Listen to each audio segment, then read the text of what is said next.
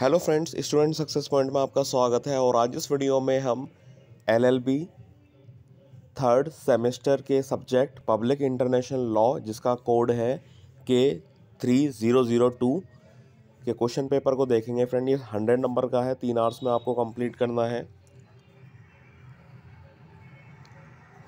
तो पहला आता है फ्रेंड इसमें सेक्शन ए जिसमें आपको एनी टू क्वेश्चंस अटैम्प्ट करने हैं, दस मार्क्स के हैं।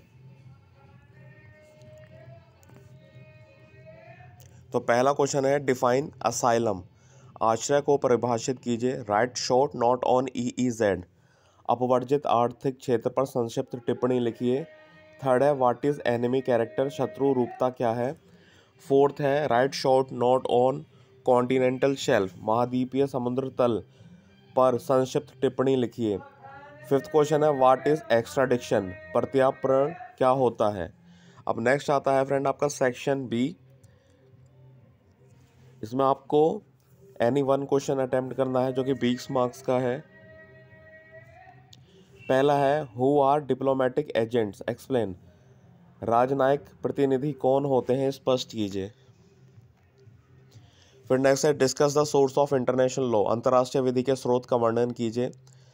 Explain coercive method of settlement of international dispute अंतर्राष्ट्रीय विवादों को तय करने के लिए अवपीड़क तरीके का वर्णन कीजिए। अब नेक्स्ट आ जाता है फ्रेंड आपका सेक्शन सी जिसमें से आपको क्या है? पाँच में से कोई दो क्वेश्चन करने हैं और हर क्वेश्चन आपका थर्टी मार्क्स का है। तो पहला क्वेश्चन आ जाता है international law is vanishing point of jurisprudence discuss अंतर्राष्ट्रीय विधि विधि शास्त्र का लुप्त पर्याय बिंदु है, विवेचना कीजिए। नेक्स्ट क्वेश्चन आ जाता है define international treaties and explain the various kind of treaties अंतर्राष्ट्रीय संधि को परिभाषित करें और विभिन्न प्रकार की संधियों का वर्णन कीजिए। नेक्स्ट क्वेश्चन आ जाता है what is the meaning of recognization of state discuss the mode of recognization राज्य की मान्यता का अर्थ क्या है? मान्यता के विभिन्न भेदों का वर्णन कीजिए। ट्वेल्व क्वेश्चन आ जाता है discuss the pacific means of settlement of international dispute अंतर्राष्ट्रीय विवादों के शांतिपूर्ण निपटारे के तरीके की विवेचना कीजिए। नेक्स्ट क्वेश्चन आ जाता है और आखिरी क्वेश्चन है write short note on the following first है freedom of high seas second है कॉन्सेप्ट ऑफ़ न्यूट्रैलिटी निम्नलिखित पर टिप्पणी लिखिए।